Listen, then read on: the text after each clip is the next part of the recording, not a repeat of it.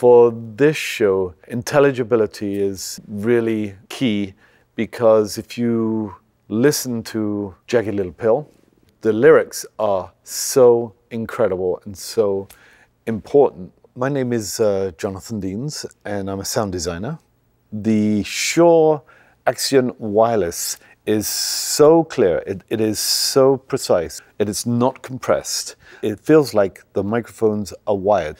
So to have something that is so clean and so precise, it's a problem.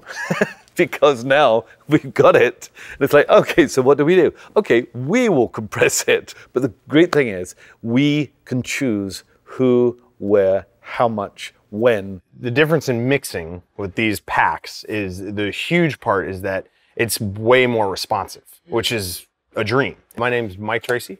Uh, I'm the uh, production mixer on Jagged Little Pill. So we're, we're running 40 channels of wireless. I can confidently say over the past few shows, this is the least amount of wireless problems I've had by a lot. Trying to squeeze in uh, 40 channels within the available bandwidth we have these days is a challenge. Um, what Axient Digital helps with is that you can put the channels so close together without any interference. I'm uh, Brian Atterbury. I work as the assistant sound manager at the American Repertory Theater. Another thing that's been great, if you have an issue and you need to change the sensitivity or the gain on a pack, you can do it without chasing down an actor and pulling it off them.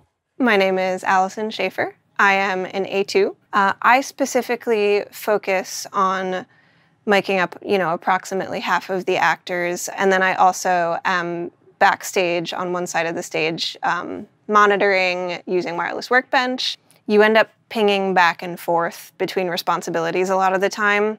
Uh, so when I am monitoring things on the computer using Workbench, it is nice to be able to see everything all at once. Additionally, what's really cool is you can actually get the batteries themselves or their chargers to show up in Workbench so that we can monitor. So especially on something like a two show day where you've got multiple sets, especially in a larger cast like we have, you can absolutely be sure that your batteries are charged and good and ready to go for the second performance. My name is Sam Lerner. I am the head of sound for the American Repertory Theater here in Cambridge, Massachusetts. So using Workbench and having everything networked in the way that the new Axient line allows you to really has been advantageous for predicting any potential issues and preventing them from happening ahead of time.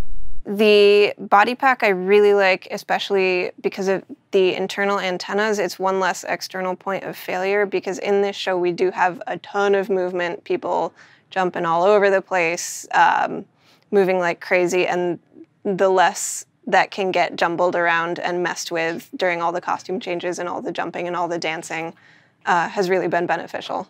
You know, it's it's an extreme thing that gets put onto these uh, transmitters. When you're wearing uh, a transmitter and you're a dancer and you're rolling around the stage, being small, being round, not getting too hot after a period of so many hours. It's something that people don't have to think about. It's me not thinking about how it sounds because it's just how it should sound, and the actor's not thinking about a box sticking into them or how do I do this? The fact is that the product itself is a clear demonstration that Shure has been spending a lot of time researching and listening to its clients and its end users, especially people like me in the Broadway market.